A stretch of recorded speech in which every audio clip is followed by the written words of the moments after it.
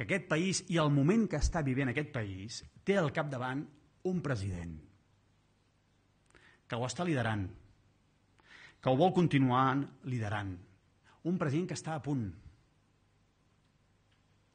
Això no, no, no, és, no, no, és, no és menor, no és menor. Ell està a punt. I a Convergència Democràtica hem d'estar amb el president. I m'atreveixo a dir que el conjunt del país ha d'estar amb el president. Si avui haguéssim de fer un crit, és aquí som tots i emplacem a que el país estigui amb el president. Tots amb el president.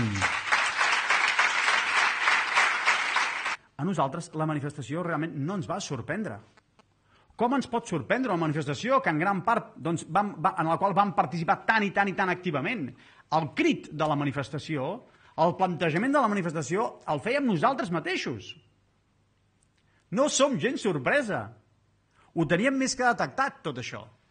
En formem part d'això. Nosaltres som això. Això no ens ha sorprès.